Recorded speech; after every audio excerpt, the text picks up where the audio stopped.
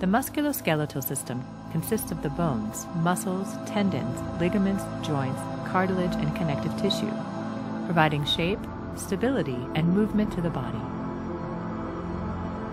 Bones consist of a hard outer layer, a softer cortex, and the bone marrow, where blood cells are formed.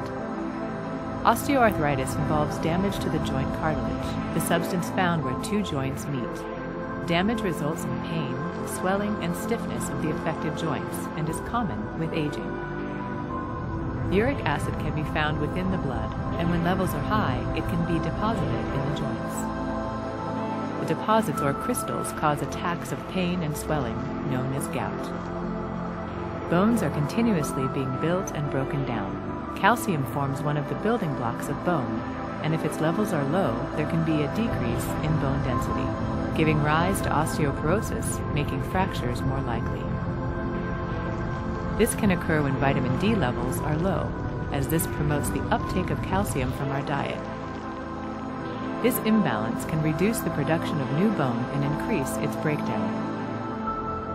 Bones are connected together at joints by fibrous cords called ligaments, while muscles are connected to bones via tendons.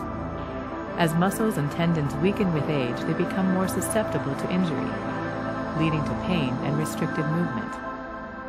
Components of the musculoskeletal system undergo many changes with age, resulting in increased risk of injury.